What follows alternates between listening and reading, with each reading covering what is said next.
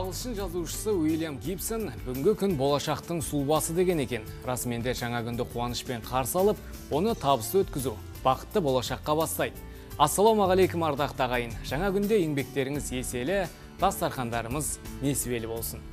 Даңқты Дихан, социалистік еңбек ері Ыбырай Жақаев өмір бір рет беріледі, жарқ етіп өте шығады. Сондықтан да әр күніңді ардақта, әр мезетіңнің құнын біл деген өнегелі нақыл қалдырған. Қайырлы күн көзқарақты көрермен. Бүгінгі күннің берер жақсылығы молынан болып, неспеміз арта берсін. Ырысымыз молайып, жұмада жайдары кейіпте көңілді жүрейік. Қызорда телеарнасының тікелей эфирінде таным көкжиегіңізді әсем әнмен өрнектеп, пайдалы ақпараттар мен жағымды жаңалықтар ұсынатын жаңа күн бағдарламасы. Бүгін қыркүйек айының 20 жаңасы апта күні жұма, қасиетті күні жасаған дұғаларыңыз бен тілеген тілектеріңіз қабыл болсын дейміз. Дәл қазір жолдан әрі әуезді ән сіздер үшін бізбен бірге болыңыздар.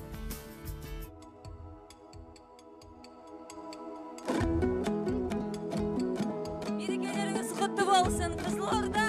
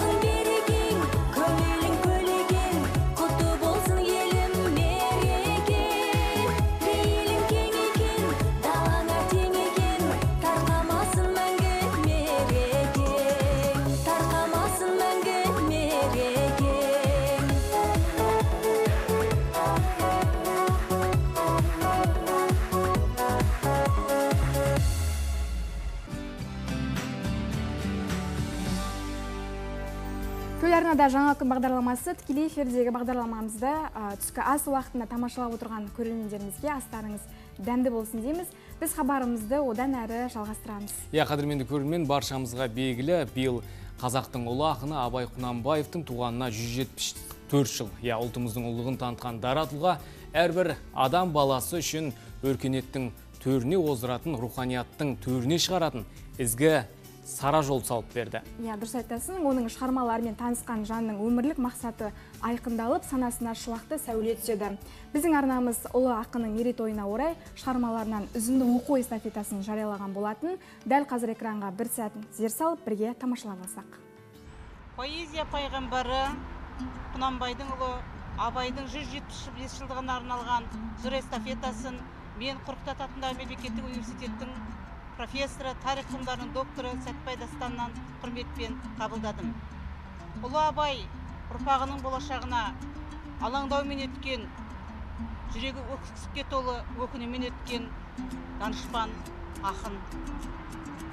Сол себептен де мен абайдың тоғызыншы қара сөзін оқып беруді жөн көрдім. Мен осы өзім қазақпын. Қазақты жақсы көрем бе жек көрем бе? Қазақты жақсы көрсем қылықтарын қостамасқа керек еді.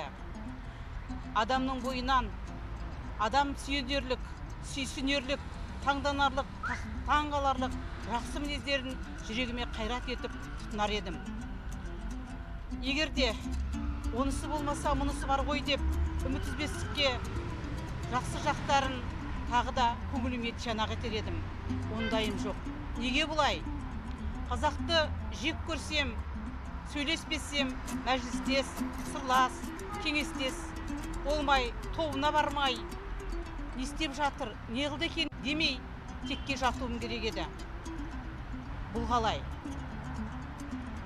Қазақты жаныммен жақсы көрдім келешегінен үміт күттім. Мен тірі адаммын бірақ анық тірі емеспін. Әншейінде соларға деген ыза кектен бе? Өзіме ге- деген ашу ызадан ба? Әлде сырттан бір себептен бе? Еш білмедім. Қазақтың жек көрем деп ек түгілі олардан алысқа көшіп кетем деген ой менде тіпті де болған емес. Айтайын халқым жаныммен жақсы көрдім үміт еттім. Ал сол үміттің бәрі бүгінде жойылғанға сөнгенге жанғанға ұқсайды. Бұлар түзелер ау оңалар ау жұрттың қатарына қосылар ау деген үміттен мүлде адамын. Бүгінде тек құр сүлдерім ғана қалды тегінде ойлаймын. Адам өлер кезде сондай да сондай жақсыларым қалдау деп қайғырмай алдағы үміт етумен арттаға қарайламай өлген дұрыс ау мен жыр эстафетасын әрі қарай жолдауды әріптесім қорқыт ата атындағы мемлекеттік университетінің кітапхана қызметкері доспаева рахила ханымға жолдаймын.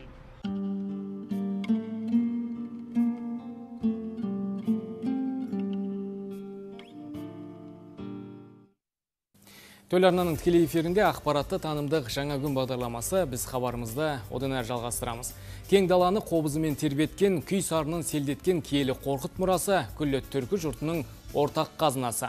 Мәңгілік өмірдің сырын аңсаған, кең байтақ дархан даланың сағынышын тамсаған баба, ғұмыры ұғынғанға ұлағат дерсіз. иә түрткіл әлемдегі түркі халықтарының басын біріктірген игі шара қорқыт бабаның отаны сыр елінде түбі бір түркінің түпкі мекені саналған сыр өңірі қашанда жоғары бағаланады аймағымызда түркі тілдес халықтардың қорқыт және ұлы дала сазы атты дәстүрлі халықаралық музыкалық өнер фестивалі өткізілуде Иә, айта кетейік осынау тағылымды шара аясында өңірімізде түркі тілдес елдер жастарының халықаралық фестивалі де өтуде.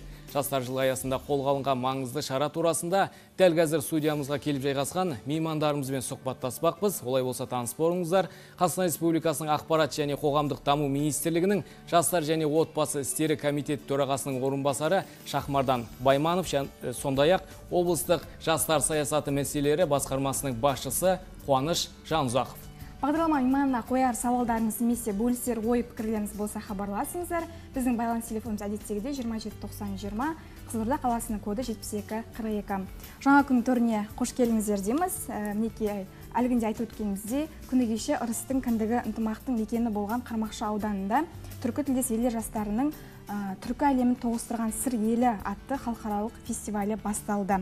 Енді әңгімемізді осы ә, фестивальдің жалпы миссиясы туралысынан бастасақ. Қуаныш мырза. рахмет.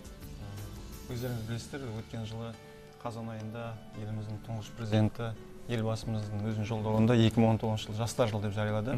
Сол жолдау жарияланған сәттерден бастап біз жастармен осы 2019 жылы өткізетін шаралар бойынша ұсыныстарын пікірлерін тыңдадық. Сол кезде осы жастардың атынан біз осы көршілес түркітілдес елдер жастармен де қарым қатынас орнатсақ байланыс орнатсақ достықты нығайтсақ деген осындай ұсыныс болған. Сол ұсынысты қолдау тапты. Э, өткен жылы осы жоспарға енді осы біздің аймақта бекітілген жоспарға сәйкес. Енді ең негізгі мақсат жаңағы жастардың өздерінің э, ұсынысына сәйкес біздің көршілес түркі тілдес елдер жастармен достық қарым қатынасты орнату. Біздің осы түркі ортақ түркі дүниесінің осы рухани дүниесін осы біздің жастарымызға насихаттау. Кеше бастау алды. Э, үш күнге созылатын халықаралық э, жастар фестивалінде біздің қызылорда өңірінде оның ішінде мына қорқыт бабамыздың мәңгілік жай тапқан мекен э, қармақшы ауданында қорқыт ата кешенінде осы ертеңгі күні салтанатты жабылу рәсімі өтеді. Сол жақта Ә, осы кел біздің елімізге келген жастар біздің сыр өңіріндегі жасалып жатқан игі бастамаларға ә, танысып жатыр көріп иә, танысып жатыр біліп жатыр және сол біздің ә, байқоңыр қаласына да апару жоспардамыз өйткені халықаралық деңгейде белгілі бізде байқоңыр қаласы сол ғарыш айлағында музеймен танысады біздің қызылорда қаласының көрікті орындарымен танысады. Күні кеше рухани жаңғыру орталығында болды. Сол жақтағы осы рухани жаңғыру бағдарламасы аясында біздің аймақта жасалып жатқан жұмыстарды танысты. Және біздің аймақта ең жастар жылындағы ең басты сыйлық ретінде жастарға табысталған жастар орталығының жұмысымен танысты. Және шахмардан асқарұлының іссапарға осы арнайы шақырту иә, келіп. біздің шақыртуымызға қолдау тапқанына үлкен алғысымызды білдіреміз. Өйткені жерлесіміздің біздің осы үлкен шараға қатысқаны жастар үшін үлкен маңызды. Сондықтан осы ас шахмардан асқарұлының келуін пайдалана отырып жастармен кеше пікір алаң алаңын ұйымдастырдық иә. Өздерінің ұсыныстарын тыңдадық пікірлерін білдік. Енді бүгін ә, қорқыт және ұлы дала сазы халықаралық фестивалінің салтанатты ашылу рәсімі болады. Ә, біздің осы келген жастар сол ашылу рәсіміне қатысады. Қаланың көрікті орындарымен танысады. Ертеңгі күні сол байқоңыр қаласы мен қорқыт ата кешеніндегі шараларға қатысады. Жалпы енді бұл фестиваль ә, түрік, ә, түркі елдерінің жастары үшін несімен ерекшеленіп отыр жалпы. Не береді жалпы жаңа атап бұл өткендей ең басты ә, жастардың жалпы біздің қазақстанның ғана аймағында шектелмей көршілес түркі тілдес елдер.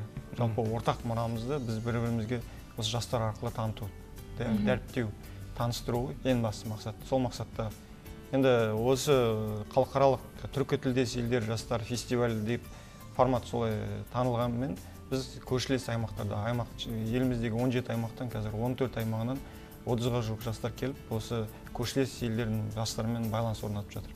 Біздің сыр өңірі қызылорда қаласы осы алаңды ұйымдастырып жалпы беруші бұл фестиваль маңызы зор. Да, ұйымдастырып беруші ретінде танылып тұрмыз. Қадірлі көрермен тағы бір мәрте естеріңізге салып өтейік. Бүгін жаңа күн бағдарламасының төрінде қонақта қазақстан республикасының ақпарат және қоғамдық даму министрлігінің жастар және отбасы істері комитеті төрағасының орынбасары шахмардан байманов сондай ақ облыстық жастар саясаты мәселелері басқармасының басшысы қуаныш жанұзақ қонақта отыр. Меймандарымызға қояр сауалдарыңыз болса. Хабарласыңыздар. Егер жастар саясатына жалпы жастарға қатысты көкелеріңізде сауалдар болса ә, хабарласуларыңызға болады. Тікелей эфир телефоны экранның төменгі жағында көрсетулі. Шахмардан мырза енді жалпы қуаныш мырза айтып өтті. Жаңа жалпы фестиваль аясында жастармен өзіңізге пікір алмасу жағдайы ұйымдастырылған екен. Жалпы енді бүгінгі біздің аймақ жастарының негізгі мәселелері қандай болып жатыр қазір? Рахмет э, сұрағыңызға. Э, өте қуаныштымын. Бүгін осындай үлкен э, халықаралық деңгейде өтіп жатқан шараның аясында осындай жаңа күн бағдарламасына қатысып отырғаныма шын мәнісінде биылғы жылы э, жаңа қуаныш э, өзі айтып өткендей биылғы жылы жастар жылы деп жарияланды. Ол жастар жылы үлкен қазіргі кезде бүкіл осы республика төңірегінде барлық аймақтарда түрлі форматтағы шаралар ә, мемлекет тарапынан бағдарламалар ұйымдастырылып отыр. Ә, бұл ә, жалпы басты мақсат ә, жаңағы түркі тілдес елдерінің осы біріншіден егер де ә, қазақ елінде сыр өңірінде жасалынып жатқан игі бастамаларды сонымен қатар осы рухани байлығымызды рухани қазынамызды дәріптеуге бағытталған қорқыт мұраларын сырдың сүлейлерін жалпы осы түркі тілдес елдерге бір ортақ ә, жаңағы құндылықтарды соны әрмен қарай жалғастыру мақсатында ұйымдастырып отыр. Соларға келер буын яғни жастар ұрпағы жастар өскелең ұрпаққа дәріптеу көрсету тәрбиелеу мақсатында ұйымдастырылып отыр. Соның аясында міне осы ә, яғни ә, жақсы үлкен бір ә, диалогтық алаң құрылуда. Өйткені бұл диалогтық алаңда өз елдерінде болып жатқан үлкен бастамаларды біздің елдегі жастарға олар көрсетіп байланыс орнатады. Сонымен қатар енді бізде де өзіміздің тарапымыздан жалпы бізде елімізде жасалынып жатқан бүкіл осы жұмыстарды оларға таныстырып отырмыз деген сияқты. Екі жақты үлкен бір диалогтық ә, алаң құрылған. Енді жастар жылы ә, жылына келетін болсам мен қазір ә, осы жастар жылына қатысты бізде үкіметтің тарапынан арнайы үлкен жол картасы дайындалды. Жол картасы өзі 89 тармақтан тұрады. Бұл ә, негізінен бес ә, бағытты құрайтын ә, жаңағы үлкен құжат. Өйткені бұл жерде тек қана осындай түрлі жаңағы форумдар мен шаралар емес бұл жерде негізгі нақты жа- жастарға демеу беретін жастарға серпіліс беретін шаралар. Оның бірінші блогын айтатын болсақ ол тұрғын үй мәселесіне қатысты. Қазіргі кезде осы ақпарат және қоғамдық даму министрлігі біз құзыретті орган осы жастар саясатына қатысты ә, осы тұрғын үйға байланысты нұр сұлтан шымкент алматы қалаларында арнайы ә, жаңағы ә, ережені бекітіп дайындаған болатынбыз. Яғни жұмыс істейтін жұмысшы жастарға арналған арендалық пәтер берілу. Осы жылдың өзінде осы үш қалаларда бізде үш мың пәтер беріледі. Бұл бағдарлама 2021 жылға дейін жалпы енді ә, сома ә, жалпы сомасын айтқанда бұл 9 мың пәтер 9 мың жастарға тиесілі болады. Ол жас отбасылар ең басты принцип ең басты қағида бұл жерде 29 жасқа дейін болу керек. Қатысушы яғни осы бағдарламаға. Сонымен қатар бұл жерде ә, екінші біз осы жол картасын ол жастарды жұмыспен қамту ә, осы ә, жоба аясында еңбек мемлекеттік бағдарламаға арнайы өзгерістер енгізілді толықтырулар енгізілді. Бұл жерде жастар ел тірегі жобасы аясында ә, осы үш жылдың көлемінде бір миллионға дейін жуық жастарды жұмыспен қамту ә, көзделген. Оның ішінде жас маман жас кәсіпкер бағдарламасы мысалға ә, жас кәсіпкер бағдарламасы бойынша осы жылдың өзінде бір ал- алпыс мыңға дейін жастарды оқыту жоспарланған. Осы бизнесін ашам деген өзінің кәсібін дөңгелетем деген жастарға ә, мемлекет тарапынан осындай қолдау көрсетілген. Ә, сонымен қатар микрокредиттер 15 мыңға дейін микрокредиттер берілу жоспарланған. Ә, бұл жерде студент жастарына ә, студенттік кредиттер берілу яғни ә, волонтерлық негізде жұмыс атқарса оған осы үстеме ақы беріледі үстеме студенттік. Сонымен қатар бұл жерде білімге байланысты мысалға жас ғалымдарды қолдауға бағытталған ә, осы ә, бағдарламаға байланысты 3 миллиард теңге қаражат қарастырылған. Жас ғалымдардың олардың жаңа жобаларын жаңа ойларын жаңағы осы біздің еліміздің ғылымын білімін дамытуға арналған жас ғалымдарды қолдауға бағытталған шаралар. Сонымен қатар енді бұл жастар практикасы жобасы мысалға ә, ол 10 мыңға дейін жастардың ә, саны көбейген болатын. Дипломмен ауылға бағдарламасы мысалға ол үлкен тағы да ерекшелігі. Оның 70 мрп болса қазіргі кезде 100 100 мрп-ға дейін көбейтілген. Қарап отырсақ бұл жол картасының басты мақсаты жұмыс таппаған жастарға жұмыс табу оқуын оқ- оқығысы келетін жастарға оқу бағыт бағдарын беру яғни біздің қазір мүмкіндігі көп. иә мүмкіндігі. Ә, тұрғын үй десек тұрғын үй негізгі негізгі осы қазіргі кезде әрбір иә әрбір ә, тмд елдерінде соның ішінде қазақстанда мысалы негізгі проблемалар ол ә, тұрғын үй мәселесі ол білім мәселесі ол ә, жұмыспен қамту мәселесі. Осы негізгі мәселелер осы жол картасының аясында қамтылған. Ә, сонымен қатар енді биылғы жылы мысалға Ә, жастар жылы кеше ғана ә, май айында қостанай қаласында қазақстан ресей жастар форумы ұйымдастырылып ол жерде президентіміз қасым жомарт кемелұлы тоқаев арнайы 2020 жылды волонтерлар жылын жариялау бекітілген.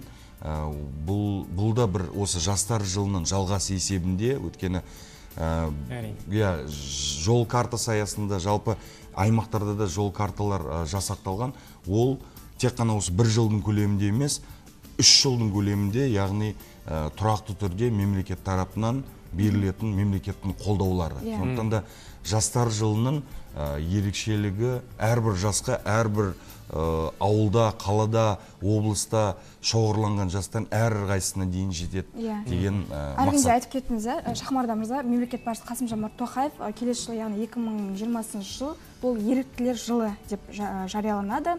Енді бұл әрине бір үлкен қуаныш бұл да бір мемлекет тарапынан жастарға деген бір үлкен бір көмек болады.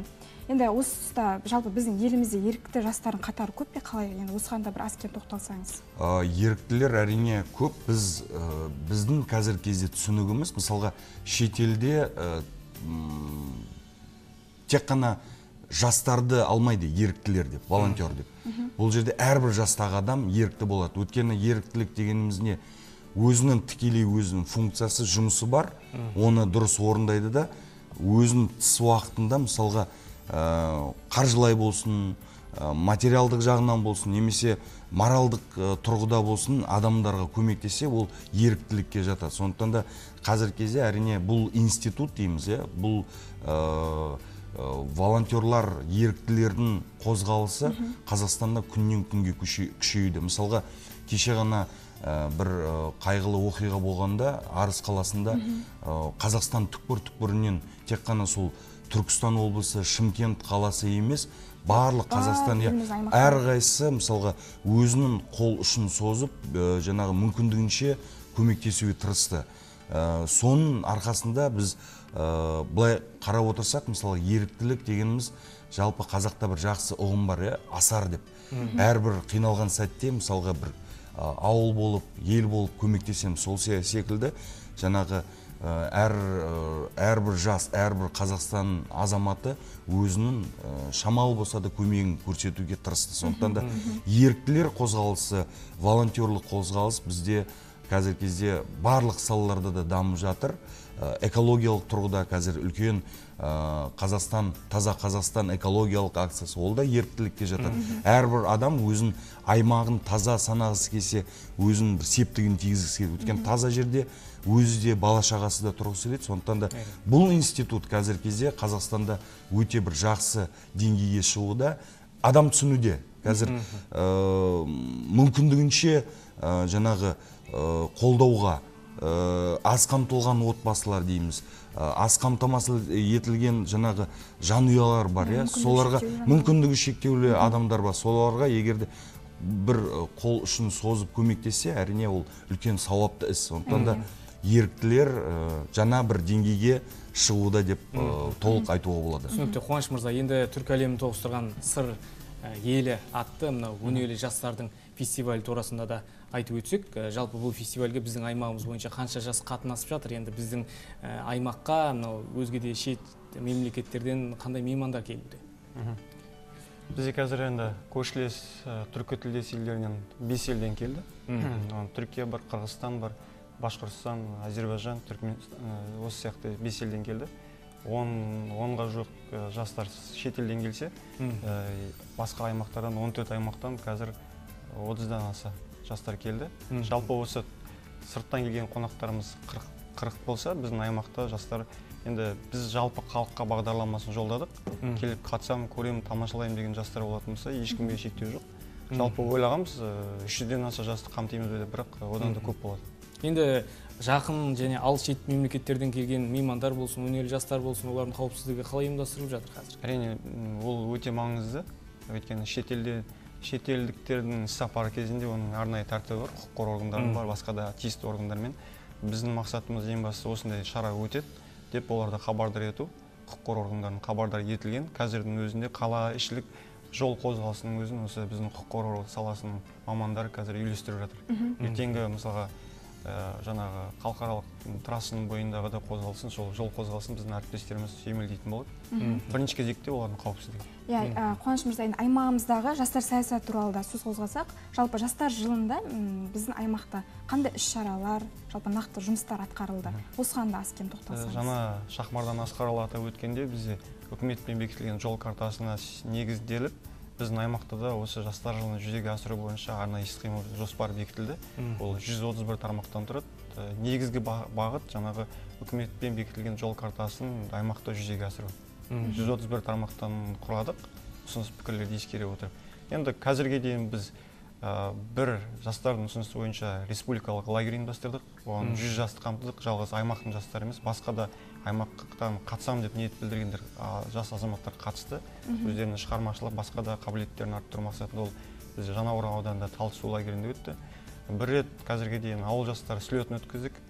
Жалпы ауылда өйткені бағдарламаларда да келіп жүрген кезде көп жастар осы ауыл жастарына мән бермейсіздер ауыл жастары тыс қалып жатыр дегеннен кейін осы шараларды жергілікті жерлерде өткізуге басымдық берді. Ауыл жастары слетін өткіздік. Ауылдағы ә, жастармен жасалған дүниелерді жастардың қолымен жасауға болатын дүниелерді насихаттау мақсатында ә, бір рет республикалық ә, облыс әкімінің жүлдесі үшін әзіл кешін ұйымдастырдық.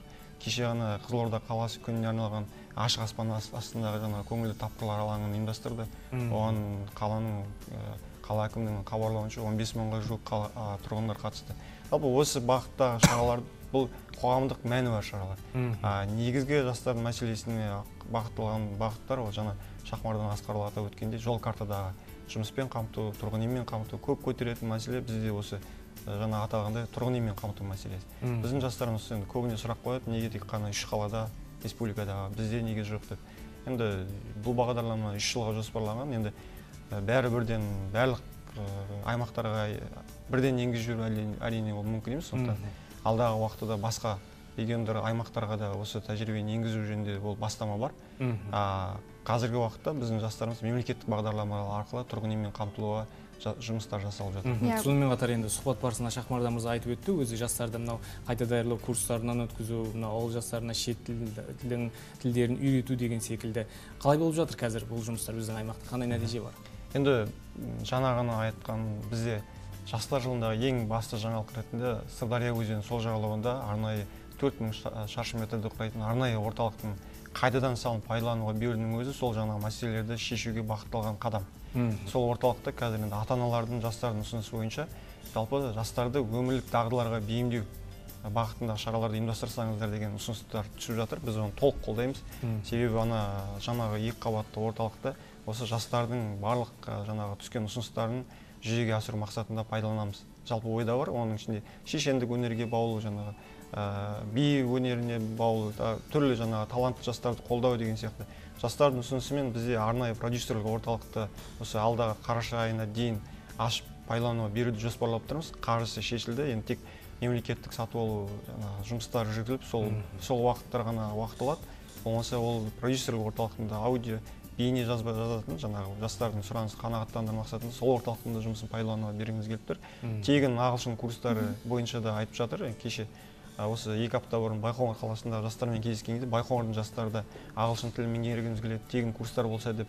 Ол мәселені жастар тәжірибесі бағдарламасы арқылы алты ай көлемінде жаңағы ағылшын тілін бітірген маманды тарта отырып қазір уже байқоңыр қаласының өзінде ағылшын тілі курс тегін курс ашылды.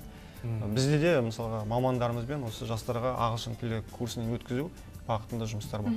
Бүгінде ә, әргінде айтып кеттіңіз ә, қазір жастарды ең толғандыратын мәселе тұрғын үймен қамту иә? Сондай ақ ең өзекті проблемалардың бірі бұл жұмыссыздық. Енді шахмардан ә, мырза жалпы биыл бұл мақсатта нақты қандай нәтижелі жұмыстар атқарылды?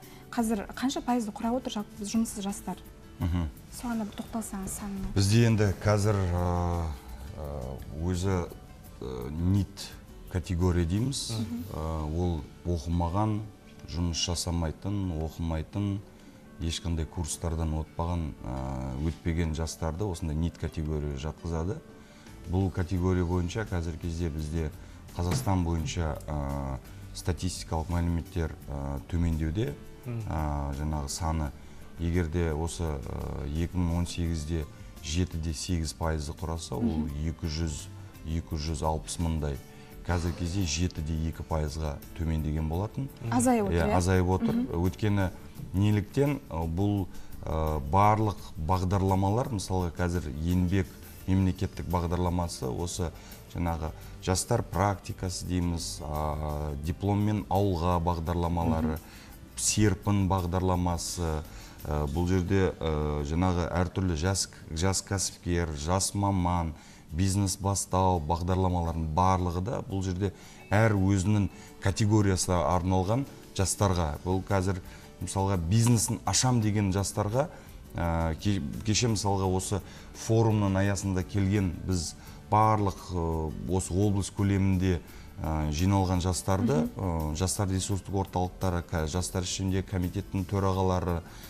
жастар ұйымдарының көшбасшылары сонымен қатар енді белсенді жастарды кеше жинап егжей тегжейлі осы ә, мемлекеттің тарапынан сонымен қатар осы жол ә, жастар жылы аясында атқарылып жатқан жұмыстарды біз түбегейлі бәрін түсіндіріп кеше мысалға мен айтып өттім. Содан кейін мысалға жастар келіп өздері мысалға мен бизнесімді ашқым келеді дейді. Қалай жасауға болады? Кей кезде біз ә, мынандай нәрсеге тап боламыз да ақпараттың жетіспеушілігі.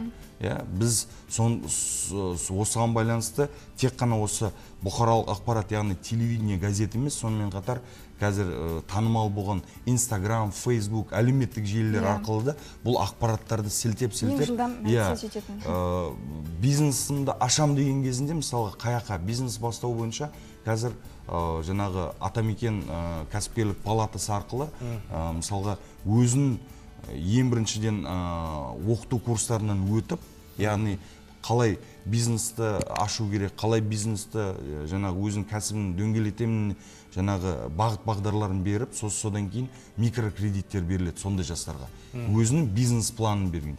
Ал енді ж- жұмысқа байланысты мысалға осы ә, жастар практикасы. Ол да өте жақсы бағдарлама. Мысалға оқуды бітіреді да бала.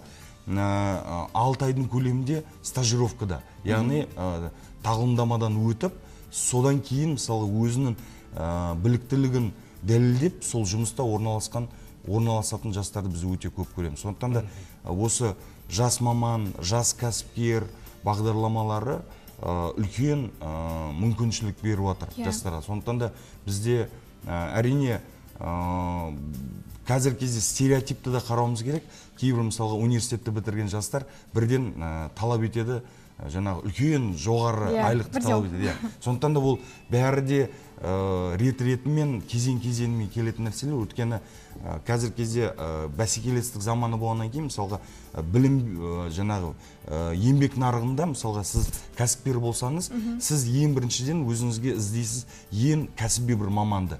Заңнамалық жағын білетін жалпы осы ә, өзінің кәсібін жақсы меңгерген адамдарды іздейсіздер иә? Өйткені талапты қоясыздар. Сол негізінде. Ал енді оқуды бітіргеннен кейін әлі тағылымдамадан стажировка өтпеген ә, жаңағы жастар бірден жаңағы басқа бір талапты қояды да сондықтан да ол ә, осы мемлекет бұл жерде ә, жұмысқа орналасу үшін осындай бір жаңағы ә, мүмкіншілік туғызып жатыр да.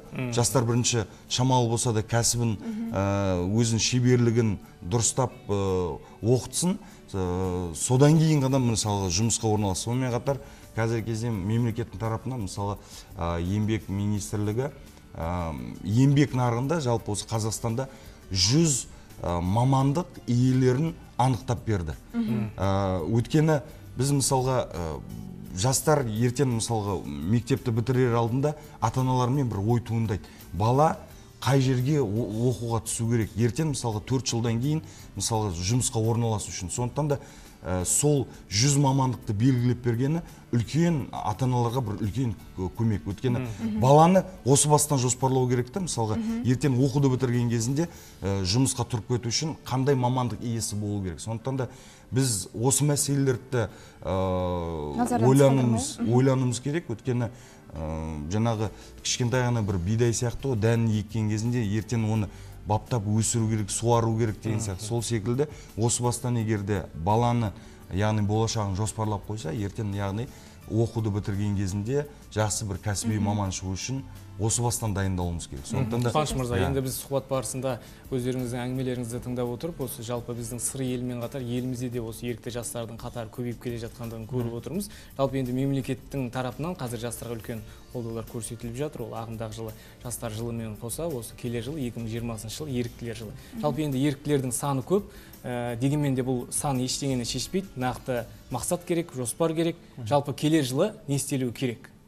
Енді мемлекет басшысының екінші қыркүйектегі жолдауында осы ж- волонтерство еріктілік бойынша да арнайы ол кісі тоқталды. Бұған дейін де айтып келе жатқан жалпы жастар еріктілікке қандай да бір қолдаулар үшін немесе кредиттер үшін жаңа сыйлық сыйақылар үшін келу керек емес жалпы жүрекпен келу жөнінде талабы қойылды. Бізде ондай жүрекпен жасайтын аймақта да жастарымыз көп. Ә, біз бұған дейін де әлеуметтік тапсырыс аясында осы еріктілік қызметті дамыту бойынша арнайы жоба бар. Енді кеше ғана осы жолдауды жаңағы жолдауды жүзеге асыру бойынша өткен облыс активіне де біздің аймақ басшысы тапсырма берді. Қызылорда облысында ә, волонтерлар жылын ұйымдастыру бойынша арнайы іс шара жоспарын дайындаңыздар деп. Қазір біз қоғамда осында жастар арасында еріктілік дамыту бойынша сауалнамалар басқа да пікірлерді жинақтап осы арнайы жоспарды бекітетін боламыз. Жалпы біздің енді қазіргі жаңа әлеуметтік жобаның аясында 300-ге тарта жалпы ерікті жастың базасын жасақтап қойдық. Келер жылы ол база үлкейетініне толық сенім білдіремін енді шахмардан мырза енді жалпы өзіңіз білесіз мынау сыр жастарына үлкен мүмкіндіктер жасалып жатыр. Сонымен қатар елдегі жастарға да үлкен мүмкіндіктер, мүмкіндіктер жасалып жатыр бұл шет мемлекеттерге барып білім алуларына. Жалпы енді сол ресей мемлекеті болсын өзге де әлем мемлекеттерінде білім алған жастардың осы туған елге келіп өзінің отанына келіп мынау түрлі салалардың өркендетуіне өзінің ықпалдарын қосу жағы қалай болып жатыр қазір? Ол үшін білесіздер қазір бір осы 93 жылдан бастап ә, ә,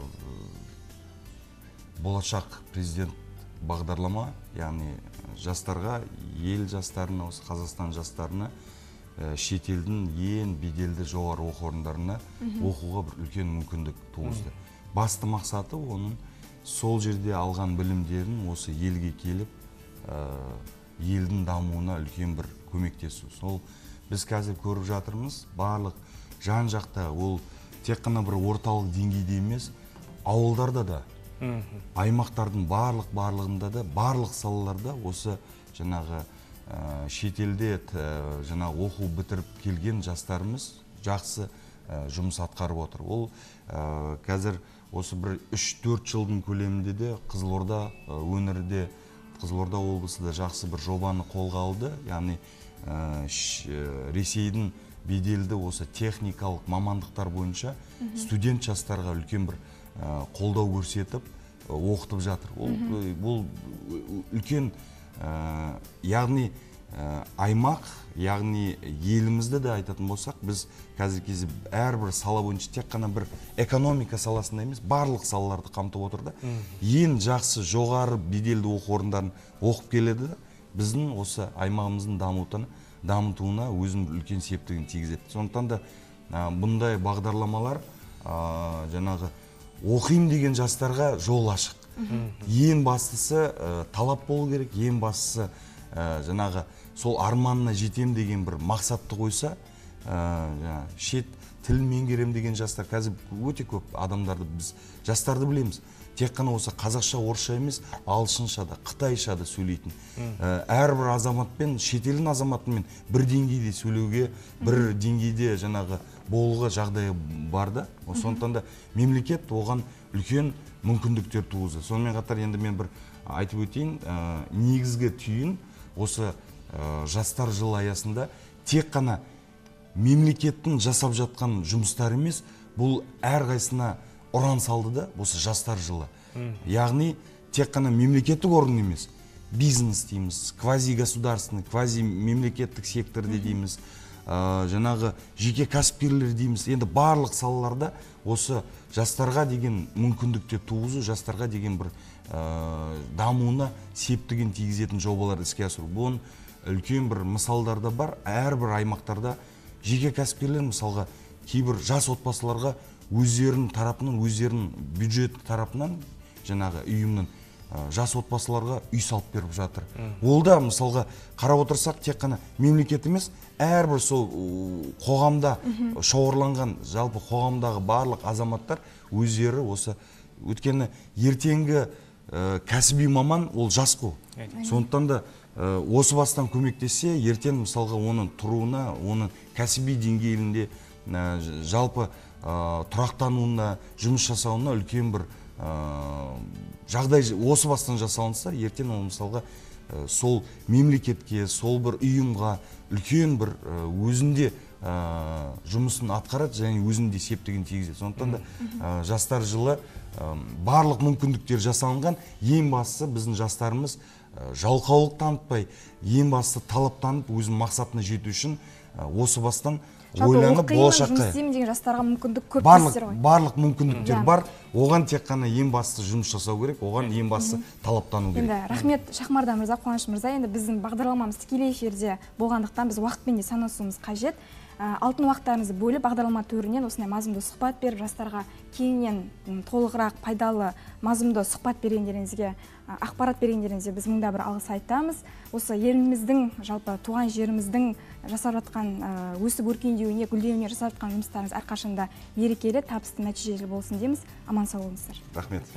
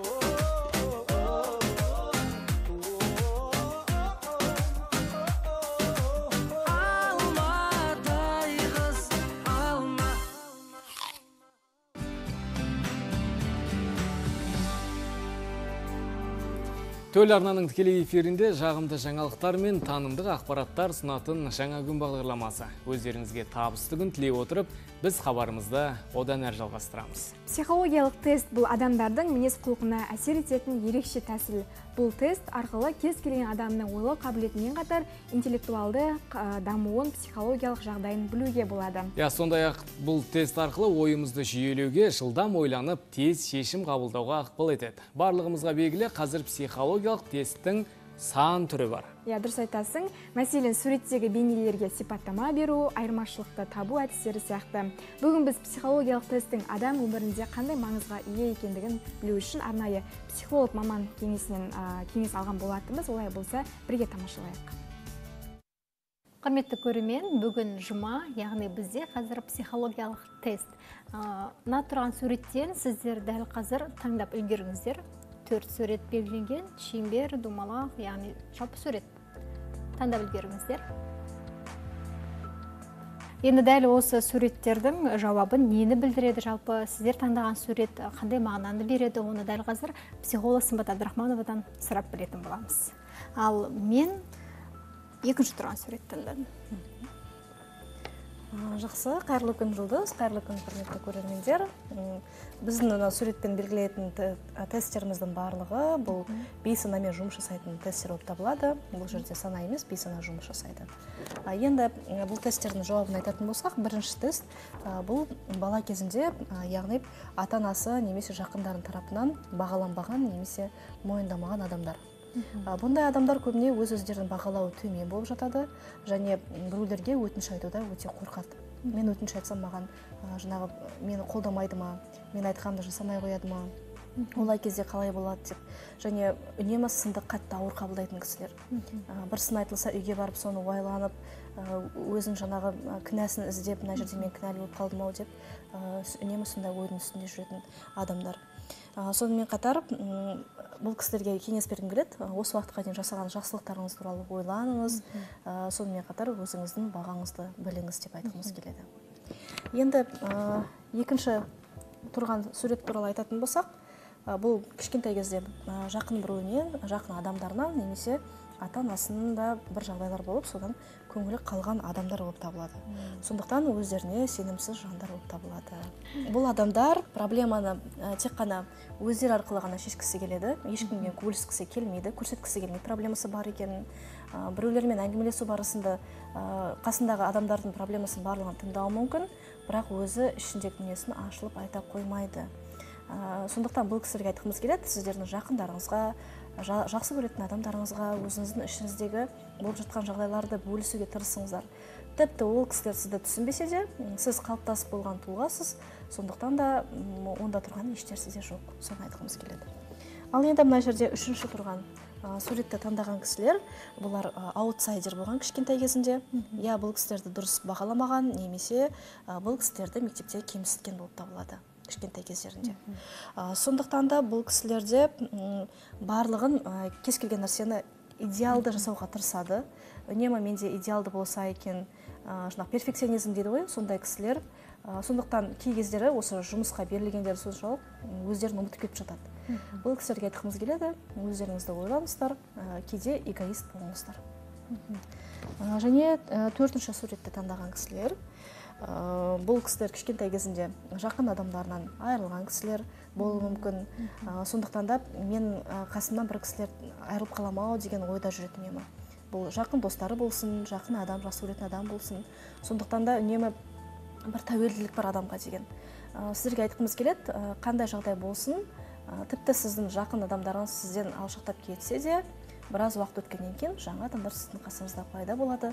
Сондықтан одан қорқудың қажеті жоқ. Жалпы осылай.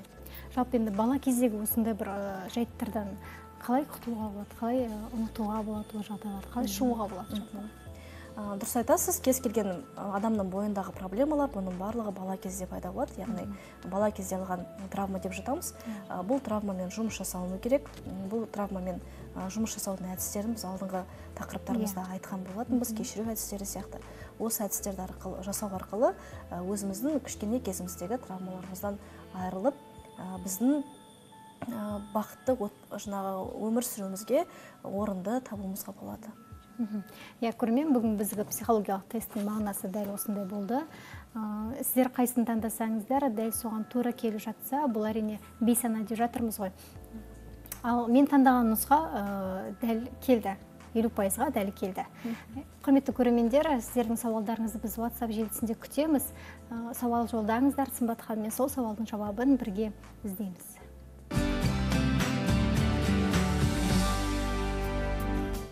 Тікелей эфирде хабарымызды одан әрі жалғастырамыз. Барлық озық технологияның тіліне айналған латын әліпбиіне көшу еліміз үшін өнеріміз бен мәдениетіміз үшін үлкен рухани құбылыс. Елбасы өзінің болашаққа бағдар рухани жаңғыру мақаласында бұл мәселені таяу жылдардағы негізгі міндеттердің бірі деп бекіткен болатын Иә, әлемдік өркениет көшінен қалмай қазақ тілінің халықаралық дәрежеде көтерілуін қаласақ, латын қарпін қолданысқа енгізудің маңыздылығы жоғары. Осы тұста қадірменді көрермен, біз сіздерге күнделікті латын әліпбиін үйре- үйрететін арнайы айдар ұсынып келеміз. Ендеше бүгінде жаңа күнмен латын әліпбиін бірге үйреніңіз. армысыздар телекөрермендер бүгінгі сабағымызда ю әрпі бар сөздердің жаңа емле ережесіне және оларға қосымшалардың қалай жалғанатындығына тоқталатын боламыз. Құрметті көрермен ережеге мұқият назар аударыңыз. ю әрпі ö әрпінен жазылады. Қосымшалар соңғы буынның үндесіміне сәйкес жалғанады. Ендеше сізге түсінікті болу үшін мына сөздерді бірге жазып қайталап көрейік. Парашют глюкоза дебют продюсер люкс валюта бюджет сюжет компьютер конъюнктивит осымен бүгінгі дәрісіміз аяқталды. Келесі сабақта дауыссыз ц және ш әріптерінің жазылу ерекшеліктері туралы айтатын боламыз. Жаңа қазақ әліпбиін бірге үйренейік.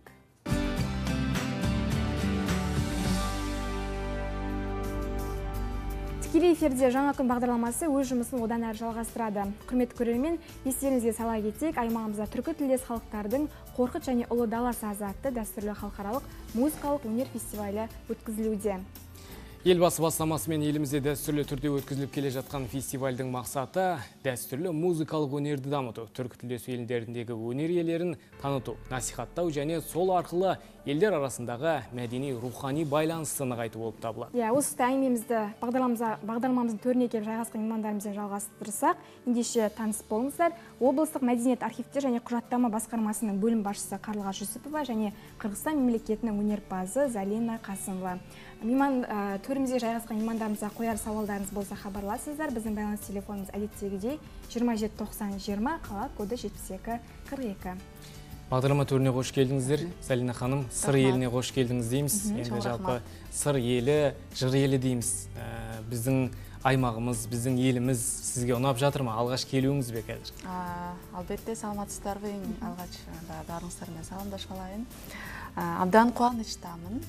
Бул жерге қуаныштымыз бағдарламамыздың А, төріне рахмат. көргенімізге А, мен биринчи жолу келишим. Кызылордага эми казакстандын башка шаарларына барып жүргөм бирок бул жерге биринчи ирет келип жатам.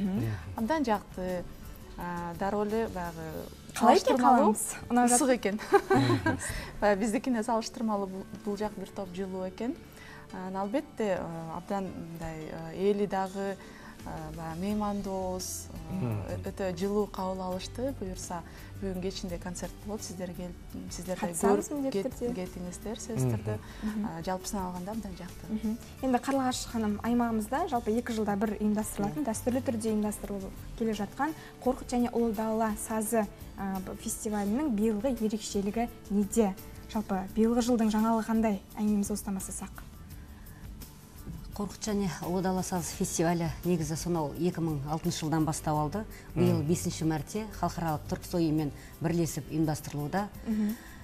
Фестивальдің бағдарламасы өте ауқымды. Өздеріңіз білесіздер кеше асқар тоқмағамбетовте фестиваль қонақтары өнерпаздарымыз грузия және татарстаннан келген өнер ұжымдарының қатысуымен үлкен концерт берілді. Халық өте жақсы қабылдады. Бүгін жаңа осы сағат 11-де фестиваль аясындағы қорқыт ата мұраларының түркі әлеміндегі роль атты халықаралық конференция өз жұмысын бастады. Конференцияға иран түркия әзербайжан қырғызстан мемлекеттерімен қатар қазақстаннан белгілі ғалымдар оның ішінде қорқыттанушы ғалымдар қатысып отыр. Енді ерекшелігі бүгін бұл фестиваліміз негізі түркі тілдес емес биыл әлем халықтары да өте қызығушылық танытып отыр. Осы қорқыт мұраларын насихаттауға арналған конференцияға сербия мемлекетінен ғалым қатысып отыр. Сонымен қатар мынау ираннан келген вели ходжа есімді ғалым өзінің қорқыт ата кітабының жаңа жазбасын тапқан коллекционер. Бүгінгі конференцияға осындай тың тақырыпты баяндамалар оқылуда. Сондықтан да мен бұл фестивальді ғылым мен өнердің басын біріктірген үлкен айтулы шара деп айта аламын. Дұрыс айтасыз. Иә енді өзіңіз айтып отырсыз бүгінде бұл фестивальге әлем халықтары да қызығушылық білдіріп жатыр екен. Ә, ерекше меймандар да келіп жатыр екен. Ал осы фестивальге қатысушы жандардың қатары көбейіп келе ме қазір? Әрине. Мемлекеттер оның ішінде қатысушылар да көбеюде. Биылғы жылы біздің жалпы осы қорқыт және ұлы дала фестиваліне барлығы ғалымдарымыз бар өнерпаздарымыз бар 200-ге тарта қатысушылар қатысуда. Оның ж- жыл сайын бізде қатысушы мемлекеттер өзі өзгеріп отырады. Біз енді түрксой ұйымымен бірлесіп жұмыс жасағаннан кейін олар да өздерінің бұрын соңды біздің елге келмеген өнерпаздарды танытуға қамтуды тырысады. Сондықтан да бұл әр жылда бізде өнерпаздар түрлі бағыттағы Елдерден, келіп отырады. иә? Ал енді ә, залина өзіңіз бұл фестивальде жалпы қай бағытта өнер көрсетпексіз? А, мен өзім қылғияқшымын бұл біздің аспап қырғыздың аспабы қылғияқ деп аталады. Бұл сіздердің Қобыз. қобызға ұқсас Э, экөө абдан ұқсас келет А, бирок бул жерде баягы ойноо техникасы анан албетте күүлөрүбүз э, баягы кыргыздыкы өзүнүн кыргыздын күүлөрү дегендей. Анан кечинде албетте ошол аспапта ойноймун енді З- залина иә өзіңізбен бірге қобызыңызды алға келген екенсіз аспабыңызды. Енді сіздің өнеріңізді көруге біз де мына біз тамашалап отырған көрермендер де асық ендеше мархабат сізден бір қонақ кәде сұрасақ иә? албетте жакшы болот анда эмесе сиздерге биздин э, кыргыздын э, саидбек муратов деген улуу кыякчысы бар эле ошол э, инсандын топ жылкы деген күүсүн аткарып берейин Жарайт.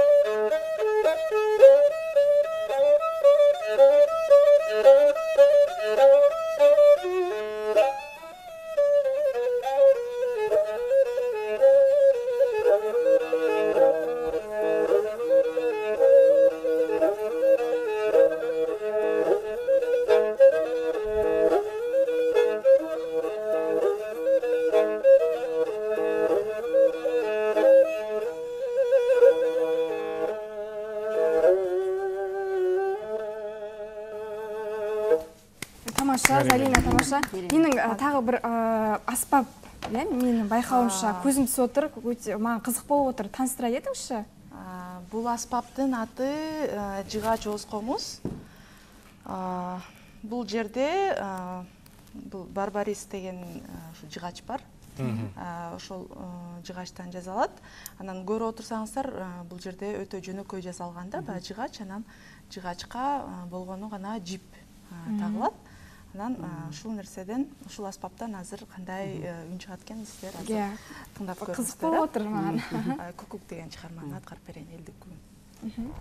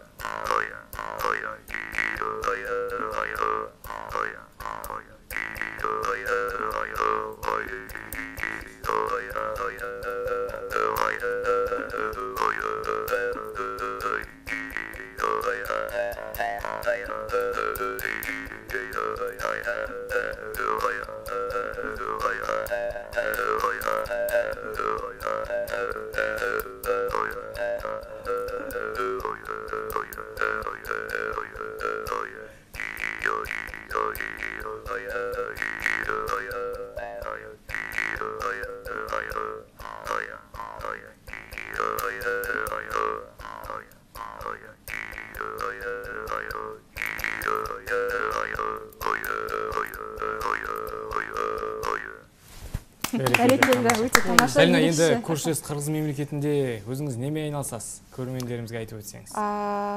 Мен биздин а, бишкек шаарында токтогул сатылганов атындагы кыргыз улуттук филармониясы бар. Ошол жерде эмгектенем ошол жерде солистмин А, ошондой көптөгөн концерттерге өзүбүздүн өнөрүбүздү тартуулап келебиз андан тышкары а, бибисара бишеналиева деген бизде музыкалык а, искусство университети бар. Ошол жерде дагы сабак берем Мгм. бәрекелді тамаша.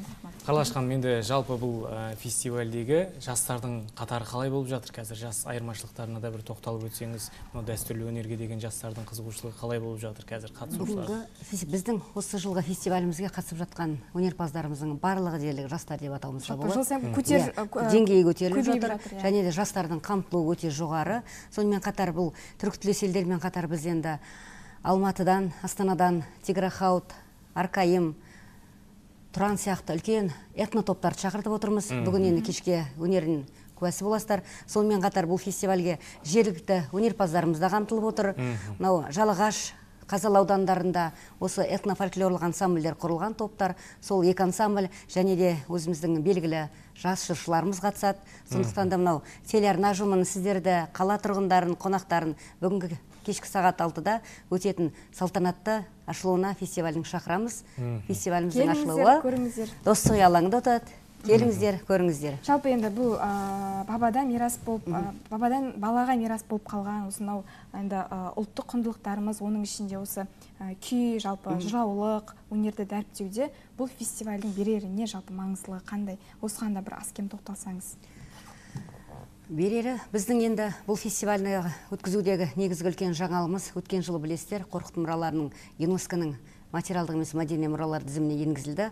Сондықтан да жаңа тағы да айтып отырмын ғой бұл қорқыттың күйлерін жа- жалпы зерттеулерін әлем халықтарында қызығушылық танытып отыр. Сондықтан да өнерпаздарымызда да тек түркітілдеспен шектелмейді. Жаңа айтып отырмын ғой грузиядан келіп жатыр қатысып отқан өнерпаздарымыз. Сондықтан да бұл ғалымдарымызда да жас ғалымдар қатысуда бүгін конференцияға осы зерттеулерге байланысты. Сондықтан да бұл фестиваліміз өт- жылы өткен сайын өзінің өзінің ауқымы кеңейеді. Және де мынау жас ұрпаққа осы қорқыт мұраларын насихаттауда берері үлкен зор деп ойлаймын.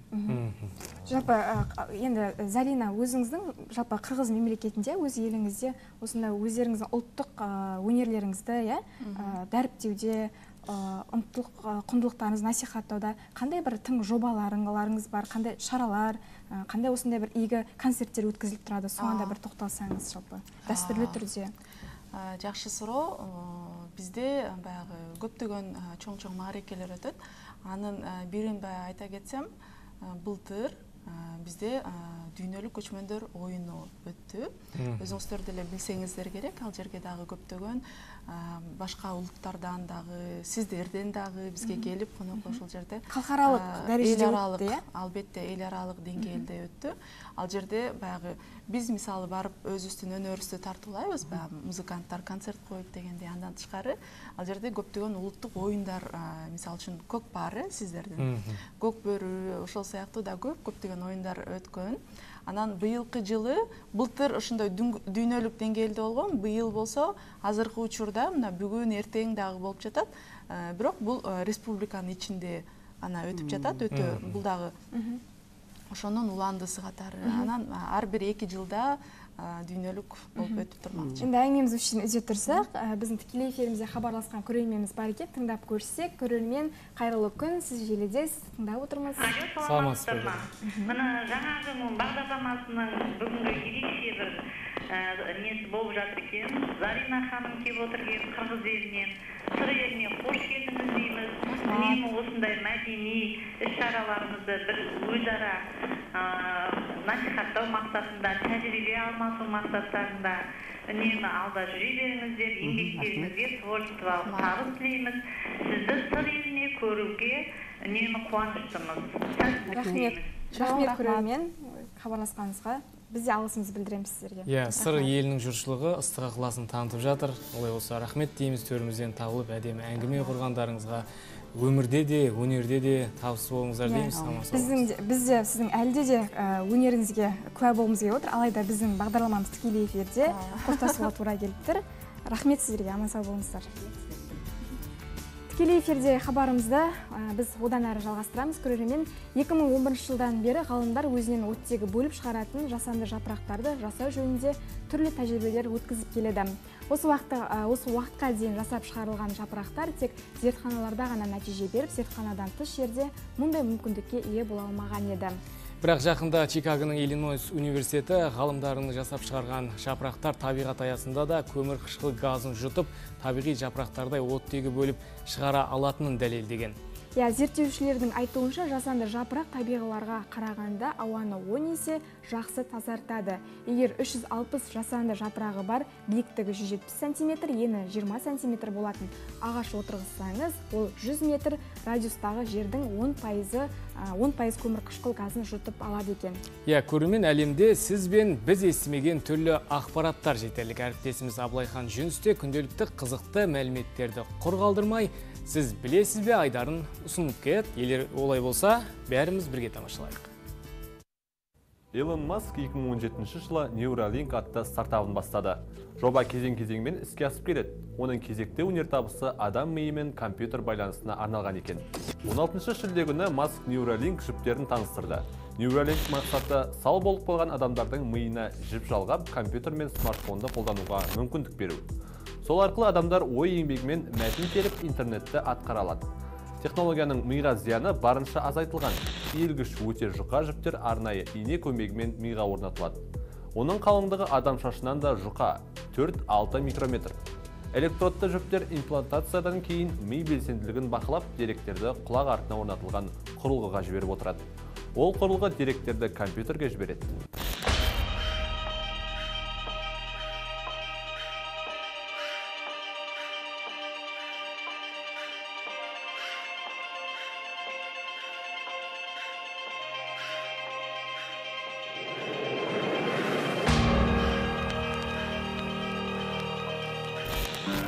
Neuralink бір минутта алты жіпті миға орната алатын нейрохирургиялық роботты да жасап шығарған. Робот адамның қан тамырларын зақымдап алмау үшін жоғары сапалы оптика пайдаланады. Имплантаттарды бас сүйектегі 8 мм-лік төрт тесіктен өткізеді. Болашақта жіптер наркоз көмегінсіз лазер арқылы орнатылуы мүмкін. Neuralink зертхана тышқандарына 19 ота жасаған. 87 пайыз жағдайда жіптер сәтті орнатылған. Болашақта компания N1 атты құлақ артына орнатылатын чипті қолданбақ. Қазірдің өзінде приматтар Neuralink технологиясымен компьютерді басқаруға қабілетті. Келесі жылы Neuralink тәжірибені адамдарға жасап көрмек. Ол үшін ақштың азық-түлік және дәрі-дәрмектер басқармасының рұқсаты керек.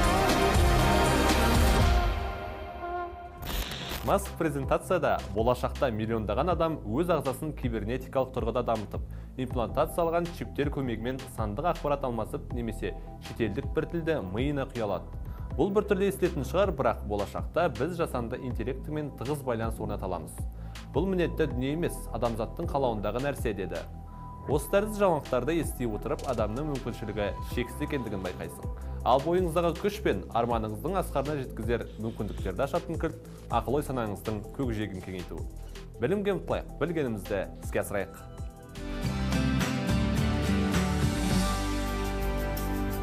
Қадірменді көрермен біздің эфирдегі уақытымыз да өз мәресіне келіп жетті. Сіздерді мол ақпаратқа қанығып күнделікті күйбең тіршіліктен бір сәт ой сергітіп алды деген ойдамыз. Иә әр күн сайын телеарнаны қосып міндетті түрде жаңа күнді тамашалаңыздар. Жүздеріңізге күлкі көтеріңкі көңіл күй мен айрықша позитив сыйлауға барынша тырысамыз. Біз өздеріңізбен дүйсенбі күні сағат 13.45-те қайта қауышатын боламыз. Жетекші арна шаңырағыңызда әрдайым қосулы болсын. Амандықта жүздесейік. Опмай, опмай, опмай, опмай, опмай, опмай, мыналарың қайтеді ал біреулер астанада жоқ дейді. Ал біреулер алматыда бар дейді. Шымкенттің қыздары зың дейді ақтөбенің қыздары дың дейді құдаларым билеп отыр дейді. Құдажалар билеп отыр дейді. Нағашы жұрт билеп отыр дейді. Құдағиым билемейді дейді. Ал класстастар қайда?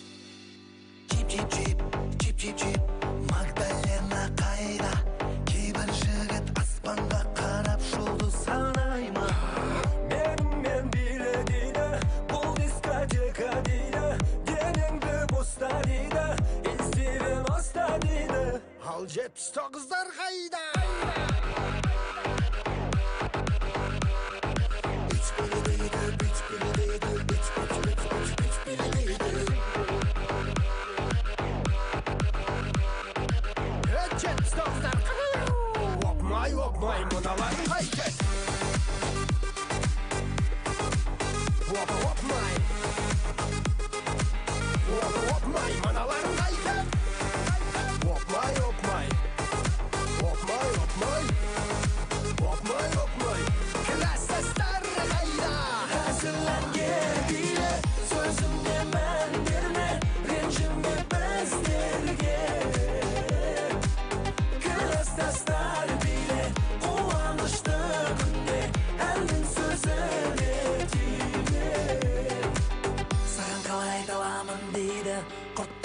тағы дейді дейді олар мені мүлдем түсінбейсін дейді жамана симана макламана клип мұндай түсінікті сөздерге тілім келмейді.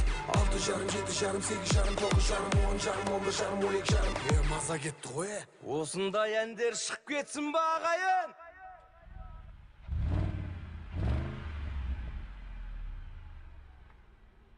Шығып кетсін. Шығып кетсін!